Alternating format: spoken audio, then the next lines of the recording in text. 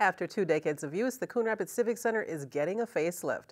Work started this week on a major renovation project. CTN's Joe Nelson joins us now from the Civic Center with details. Joe? Karen, it's been a busy week here at the Civic Center with voters casting ballots on Tuesday and demolition work starting the next morning. But that doesn't mean activities are taking a break.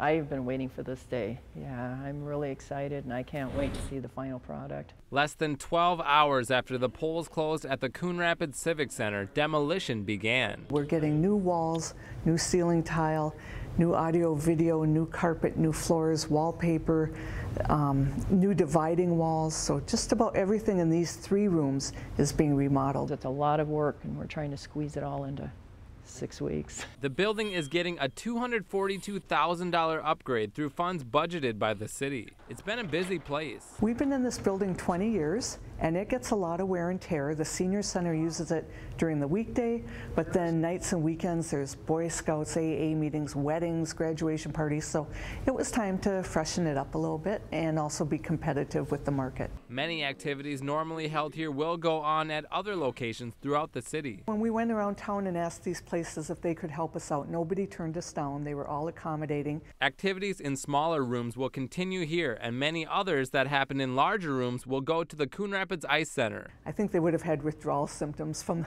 missing their friends and their activities, so we found homes for just about everything. But bingo and senior dining are canceled during construction. Just be patient. It's going to be lovely. It's uh, going to be well worth it. It says a lot about what the city thinks of um, our seniors, and they value them and they take good care of them, so we're pleased. Construction is scheduled to be complete and all activities should be back to normal by December 12th. To find out where activities are going, contact the Civic Center, and to follow their progress, visit their Facebook page or stop on by. Karen? Thanks, Joe.